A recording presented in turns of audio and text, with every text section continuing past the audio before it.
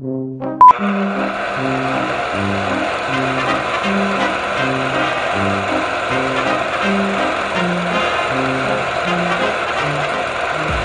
Süper Haber izleyicileri. Bugün sizlerle 2000'li yıllarda yapılmış en iyi yerli komedi filmlerini konuşacağız. 2000'li yıllarda gerek gişe başarısıyla gerek de izleyici tarafında iz bırakmış filmleri sizin için topladım. Listemizin 10. sırasında Türkiye sinema sektöründe çok da fazla yer edinmemiş animasyon komedi filmi Kötü Kedi Şerafettin var. Kedi var. Kedi var.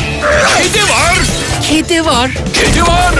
Kedi var. Kediler hakkında bildiğiniz her şeyi unutun. 2016 yılında vizyona giren film farklı tarzıyla oldukça dikkat çekici. Filmde Şerafettin ve arkadaşları eğlenirken başlarına bir anda olmadık bir şey gelir. Yaşanan sorunların ardından Şerafettin'in bir de çocuğu olduğu ortaya çıkar. Yerli komedinin güzel ve farklı örneklerinden biri olan bu film, Bülent Üstün'ün yarattığı çizgi romandan uyarlama.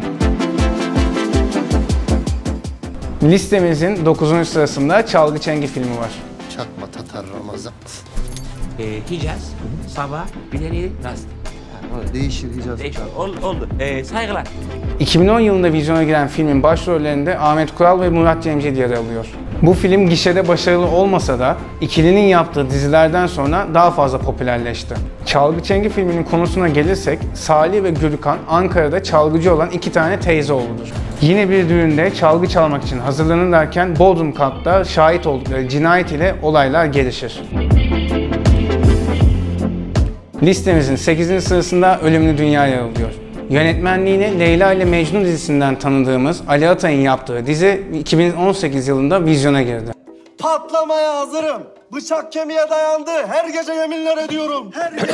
İşbirliğiniz için Bitecek. teşekkür ederiz. Herkes adımını sağlam yere atacak. Herkes haddini bilecek. Ali Atay bu filmde ikinci yönetmenliğini yapıyor. İlk filmi Limonata. Bu filminde özellikle yabancı komedi filmlerinden oldukça fazla referanslar barındırıyor. Ölümlü Dünya filminin konusuna gelecek olursak 8 kişilik Mermer ailesi normalde sıradan bir esnaf gibi gözüküyor. Ama aslında hepsi birer kiralık katil.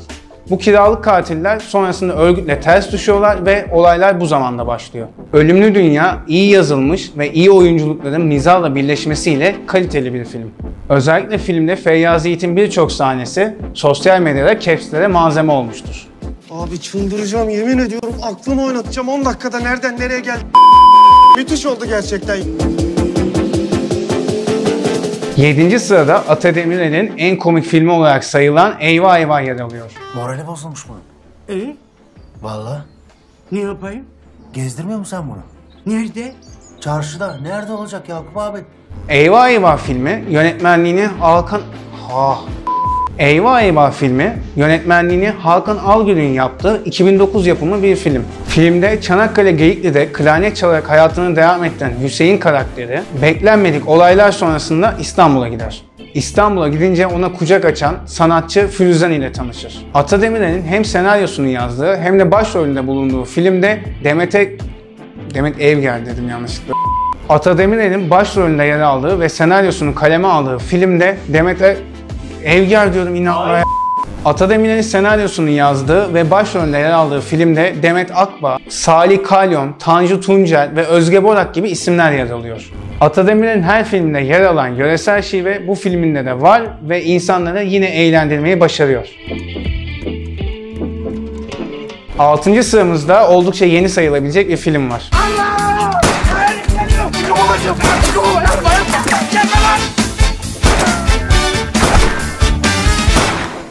Aile arasında yönetmenliğini Ozan Açıklan'ın yaptığı ve senaryosunu Gülse Birsel'in kaleme aldığı Türk komedi filmidir. Fikret eşinden ayrıldıktan sonra Solmaz ile tanışır. Solmaz'ın kızı erkek arkadaşına yalan söylediği için Fikret bir anda kendini farklı bir dünyada bulur.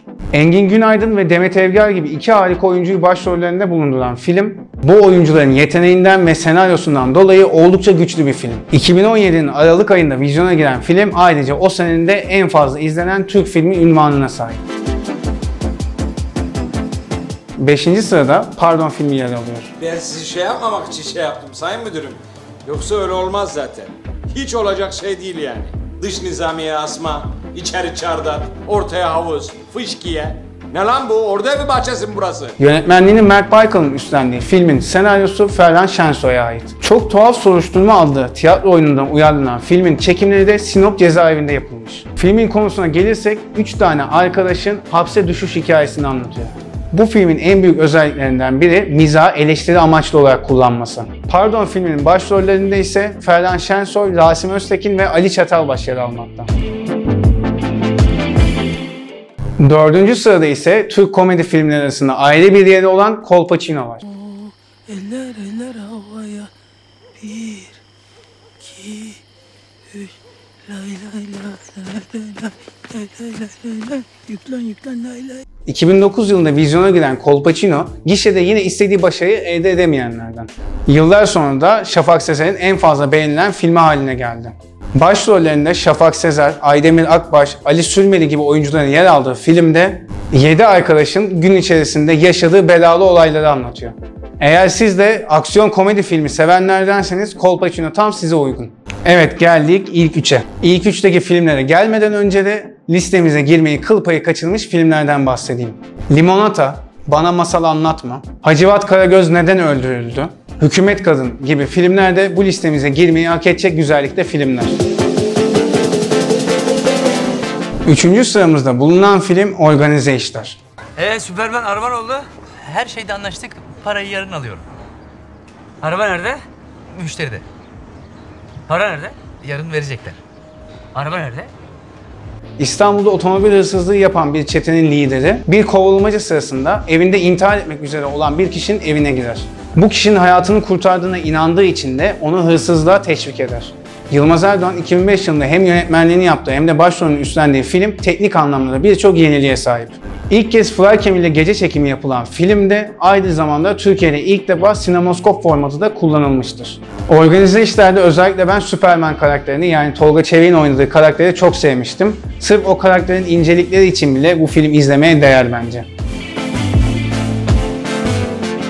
Listemizin ikinci sırasında Vizontele filmi bulunuyor. Radyoda Zeki Müren şarkı söylemiyor mu? Söylüyor.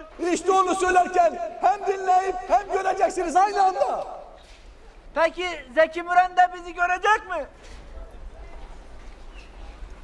Vizontele sadece komedi türünde değil, Türk sinemasında da çekilmiş en iyi filmlerden bence. Öyle bir film ki defalarca izleseniz de bıkmayacağınız tarzda. Televizyonun yeni yeni Anadolu'ya yayılmaya başladığı bu dönemde köy halkı da televizyon ile tanışmaya hazırdır. Mekanik işlerle uğraşmayı seven Emin yani filmimizin baş karakteri de bu icat için oldukça heyecanlıdır. Ama televizyonun köye gelmesiyle birçok değişiklik de halkı bekliyor. Yılmaz Erdoğan'ın gösterildiği zamanda hasar rekorları kalan... Kalan mı? Yılmaz Erdoğan'ın gösterildiği zamanlarda hasar rekorları kıran filminin başrollerinde Yılmaz Erdoğan'ın yanı sıra Demet Ek, Ekbağ diyorum Yılmaz Erdoğan'ın yanı sıra Demet Akbağ, Cem Yılmaz, Erdal Tosun ve Tanju Akan Tanju Akan mı? Yılmaz Erdoğan'ın yanı sıra Demet Akbağ, Cem Yılmaz, Tanju Akan, Tanju Akan diyorum ya, Tarık Akan'a ya. Yılmaz Erdoğan'ın yanı sıra Demet Ekbağ, Ekbağ Yılmaz Erdoğan'ın yanı sıra Tarık Akan, Demet Akbağ, Cem Yılmaz, Erdal Tosun gibi isimlerde yer almakta. Hem güldürüp hem de ağlatmayı başaran film Vizontele bence Türk sinemasının adını altın harflerle kazıdı. Ve geldik listemizin birinci sırasına. O kadar kafası çalışsaydı o taşların dört element sembolize ettiğini anlardı. Sembolize mi? Sembolize tabii. Doğada bulunan dört element. Ateş, su, toprak, tahta.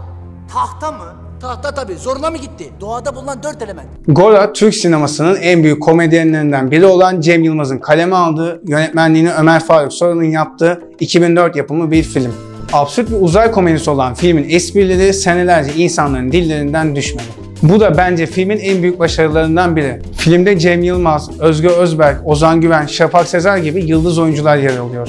Anadolu'da tüccarlık yapan Arif bir gün uzaylılar tarafından kaçırılıyor. Uzaylılar onu Gora gezegenine götürüyor. Arif Gora gezegeninde Çeko isimli bir prensese aşık olur.